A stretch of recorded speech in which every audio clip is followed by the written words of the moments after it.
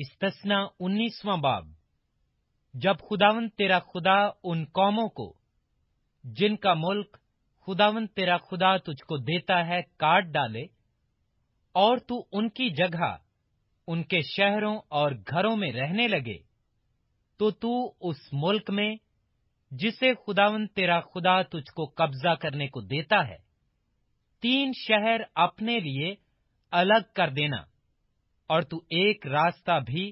اپنے لیے تیار کرنا اور اپنے اس ملک کی زمین کو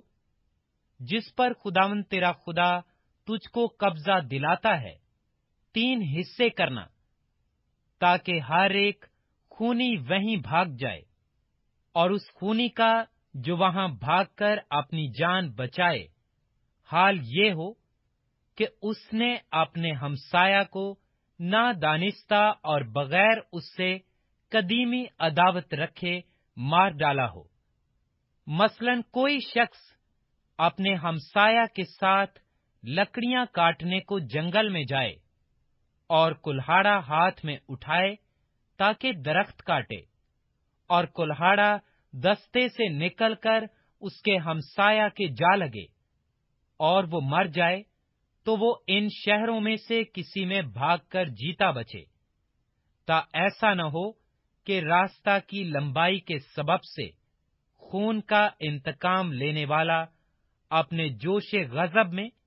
خونی کا پیچھا کر کے اس کو جا پکڑے اور اسے قتل کرے۔ حالانکہ وہ واجب القتل نہیں، کیونکہ اسے مقتول سے قدیمی عداوت نہ تھی۔ اس لیے میں تجھ کو حکم دیتا ہوں کہ تو اپنے لیے تین شہر الگ کر دینا۔ اور اگر خداون تیرا خدا اس قسم کے مطابق جو اس نے تیرے باپ دادا سے کھائی تیری سرحد کو بڑھا کر وہ سب ملک جس کے دینے کا وعدہ اس نے تیرے باپ دادا سے کیا تھا، تجھ کو دے۔ اور تو ان سب حکموں پر جو آج کے دن میں تجھ کو دیتا ہوں دیہان کر کے عمل کرے اور خداوند اپنے خدا سے محبت رکھے اور ہمیشہ اس کی راہوں پر چلے، تو ان تین شہروں کے علاوہ تین شہر اور اپنے لیے الگ کر دینا، تاکہ تیرے ملک کے بیچ جسے خداون تیرا خدا تجھ کو میراث میں دیتا ہے، بے گنا کا خون بہایا نہ جائے اور وہ خون یوں تیری گردن پر ہو۔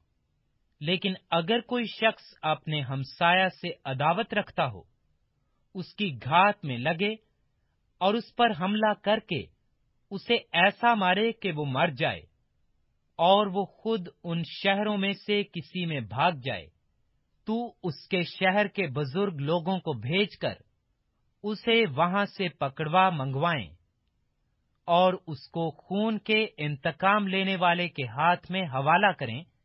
تاکہ وہ قتل ہو۔ تجھ کو اس پر ذرا ترس نہ آئے، بلکہ تو اس طرح بے گنا کے خون کو اسرائیل سے دفن کرنا تاکہ تیرا بھلا ہو۔ تو اس ملک میں جسے خداون تیرا خدا تجھ کو قبضہ کرنے کو دیتا ہے، اپنے ہمسایا کی حد کا نشان، جس کو اگلے لوگوں نے تیری میراث کے حصہ میں ٹھہرایا ہو، مت ہٹانا۔ کسی شخص کے خلاف اس کی کسی بدی یا گناہ کے بارے میں جو اس سے سرزد ہو، ایک ہی گواہ بس نہیں، بلکہ دو گواہوں یا تین گواہوں کے کہنے سے بات پکی سمجھی جائے۔ اگر کوئی جھوٹا گواہ اٹھ کر کسی آدمی کی بدی کی نسبت گواہی دے، تو وہ دونوں آدمی جن کے بیچ یہ جھگڑا ہو خداون کے حضور، کاہنوں اور ان دنوں کے قاضیوں کے آگے کھڑے ہوں اور قاضی خوب تحقیقات کریں اور اگر وہ گواہ جھوٹا نکلے اور اس نے اپنے بھائی کے خلاف جھوٹی گواہی دی ہو، تو جو حال اس نے اپنے بھائی کا کرنا چاہا تھا، وہی تم اس کا کرنا اور یوں تو ایسی برائی کو اپنے درمیان سے دفع کر دینا۔ اور دوسرے لوگ سن کر ڈریں گے اور تیرے بیچ پھر ایسی برائی نہیں کریں گے اور تجھ کو ذرا ترس نہ آئے۔ جان کا بدلہ جان، آنکھ کا بدلہ آنکھ، دانت کا بدلہ دانت، ہاتھ کا بدلہ ہاتھ اور پاؤں کا بدلہ پاؤں ہو۔